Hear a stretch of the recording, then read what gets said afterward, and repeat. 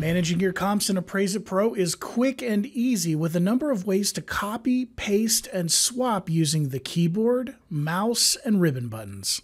To clear a comp using the ribbon buttons, make sure you're in a field within the comp that you wish to delete and press the ribbon button for Clear Comp.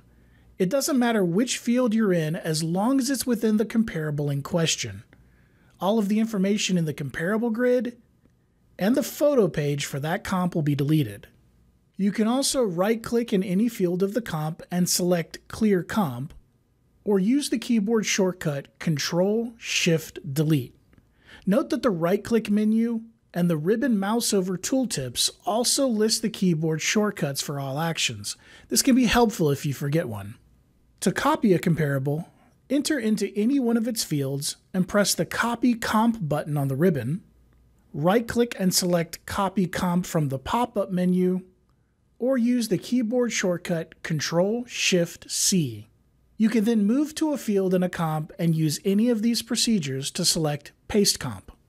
You can also paste a copied comp into an existing comp.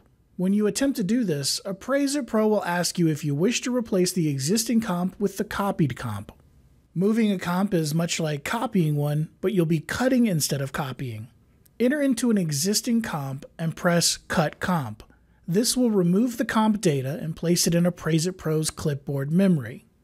Now you can go to a blank or existing comp and paste it in. Finally, you can swap two comps by selecting the first comp and copying it.